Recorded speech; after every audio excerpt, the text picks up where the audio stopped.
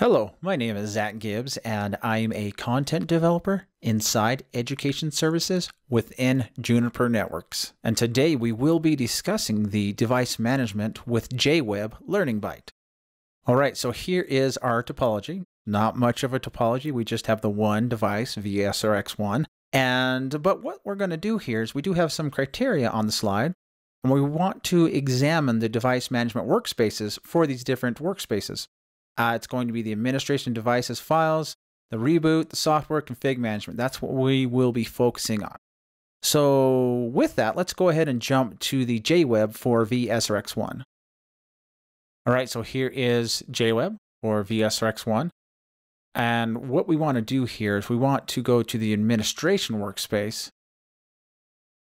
And here in the administration workspace, we have a few different additional workspaces that we want to discuss. The first is the files. So the administration device files workspace.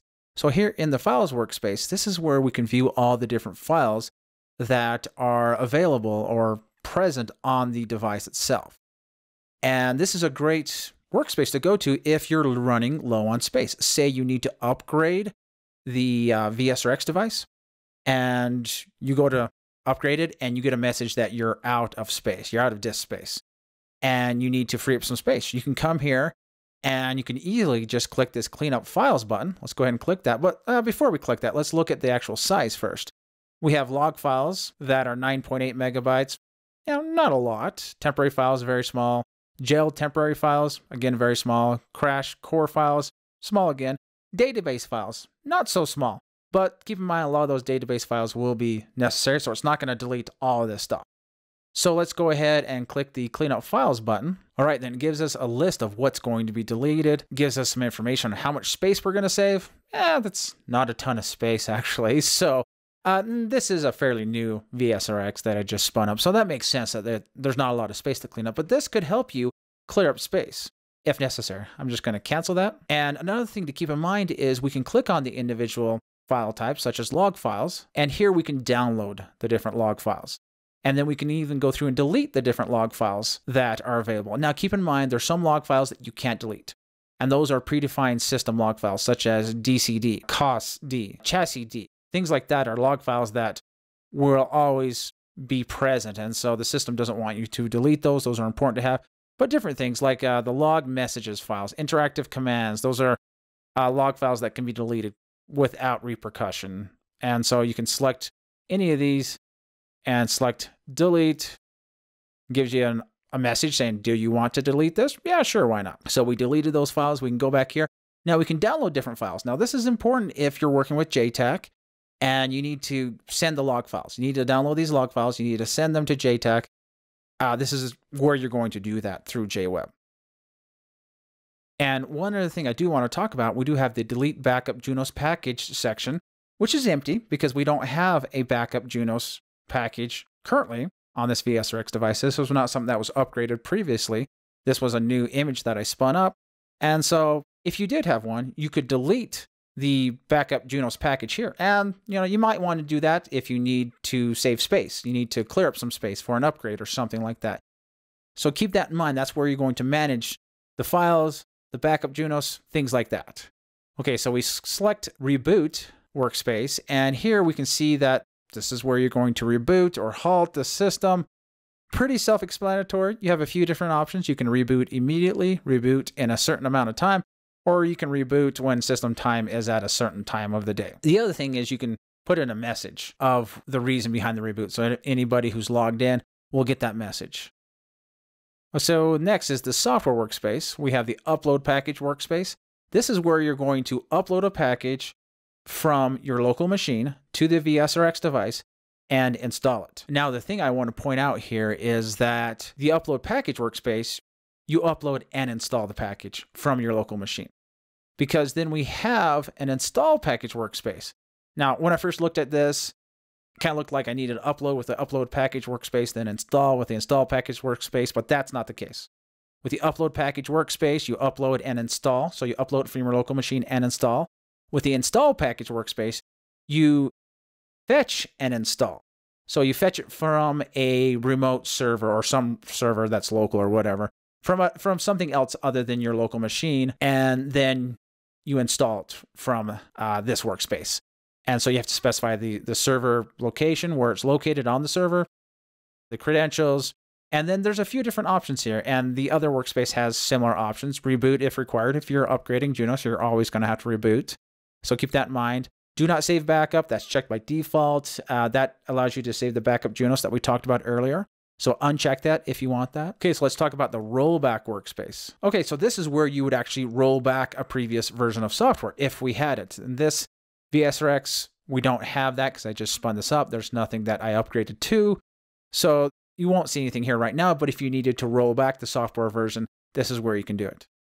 Okay, the config management workspace. This is where you can upload configs with the upload workspace. And now the thing to keep in mind here is if you upload a config and then you select the upload and commit button, so you choose a config, I guess, you choose one on your local machine, then you select the upload and commit button, then it does a full overwrite of the current config.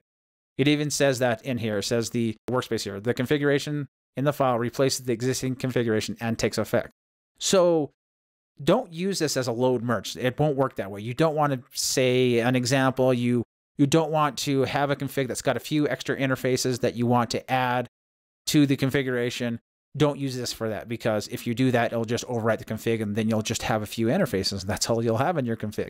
So you want to upload complete configs is what I'm seeing here. So keep that in mind.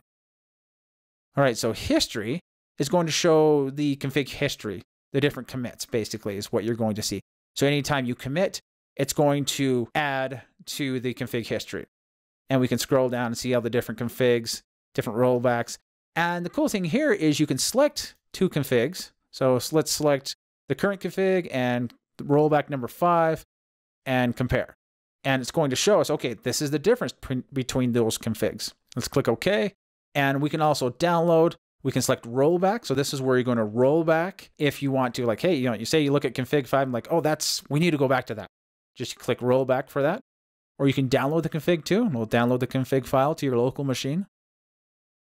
All right, so the rescue workspace. The rescue workspace is what you're going to use to set and view or delete the rescue config. Now, what is the rescue config? Well, the rescue config is a configuration that you know is good, that you want to have in place in case something bad happens, somebody puts in a config and totally locks out the device. Now, you could use a console connection to get into the device, but what if somebody loaded a config that uh, changed the user passwords or whatever, or the users in there? And you know, you could do a full-on password reset with the console connection, which is is hard to do sometimes. But uh, but you could have the rescue config. And so what happens here? You set the rescue config, uh, somebody locks themselves out of the machine, you can't get back in, you don't have a console cable or a console server. And so you just go over and press the rescue config button on the actual device itself and it'll load the rescue config. Now, the one thing to keep in mind here, this is a VSRX. It's on a server. The server doesn't have a button for that, so it doesn't work so well with VSRX. But any hardware devices, this is very valuable. So like an SRX 340, uh, SRX uh, 4100 or 4200, uh, the 5000 series, stuff like that. This is very valuable. Okay, so next let's talk about license management. I know I didn't put this in the actual criteria for the slide of what we're going to do, but let's look at the license workspace. Here in the license workspace, it's just going to show you all your licenses. You can add, delete, update as well. You can download the keys. So if you're, say you're moving the licenses from one device to the next, you're transferring it, you can download the keys and do that, or you can display the keys. And so this workspace is just for managing licenses. So that brings us to the end of this Learning Byte. In this Learning Byte, we discussed device management tools using JWeb and went into some detail about how those tools work and what you can do with them. So as always, thanks for watching. Visit the Juniper Education Services website to learn more about courses. View our full range of classroom, online, and e-learning courses. Learning paths, industry segment and technology specific training paths Juniper Network's certification program, the ultimate demonstration of your competence, and the training community, from forums to social media. Join the discussion.